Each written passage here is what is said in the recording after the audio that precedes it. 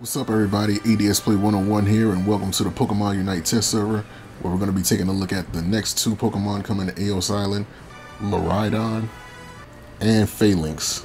But first let's take a look at Miraidon. Miraidon's passive is called Hadron Engine. When a Pokemon with this ability hits, an, hits a Pokemon from the opposing team with a move, it creates electric terrain. The Pokemon can consume a portion of its collected Aeos energy to expand the area of the electric terrain it creates. If the Pokemon with this ability or its allies are within the electric terrain, their attacks deal additional damage and they, and they cannot be put to sleep.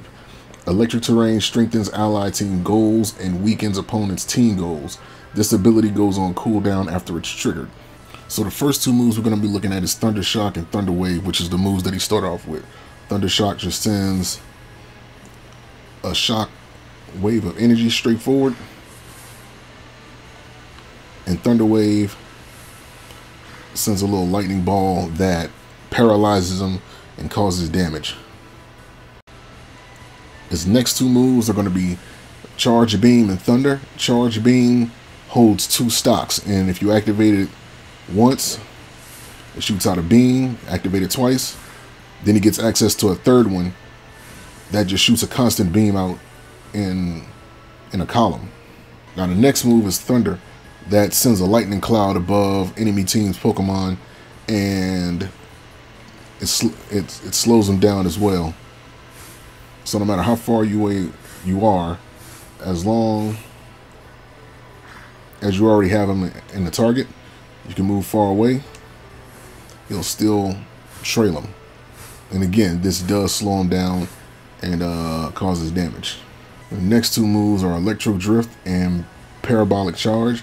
Electro Drift does two dashes. It has two dashes in stock, and on the third one, it does an extra an extra charge. Deals more damage um, the lower the target's health is.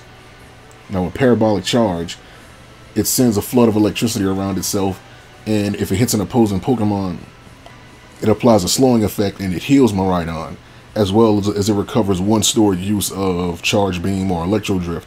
And the more Pokemon that this hits, the more HP Miraidon recovers.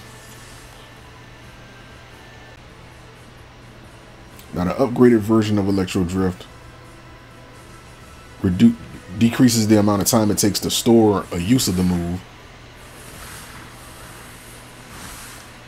and the upgraded version of Parabolic Charge grants him a little shield. Now the upgraded version of Charge Beam and Thunder, with Charge Beam they didn't fix it in the in the um in the test server because it's supposed to increase the maximum number of charges that can be held. As it reads, it increases the maximum number of charges that can be kept in reserve for this move to zero, but I'm assuming that's going to get changed when he when he gets released in the full game to like maybe three. Uh, the inc- the slowing effect um, is strengthened when it comes to Thunder upgrade. So that was my quick overview of the new range special attacker Miraidon. Uh, please keep in mind that this is a test server version and it is subject to change when he comes out in the full the main game. So hope you guys enjoyed this. If you have access to the public test server, jump on there, try them out, tell me what you think. And until next time, peace, and see you guys in Aeos Island.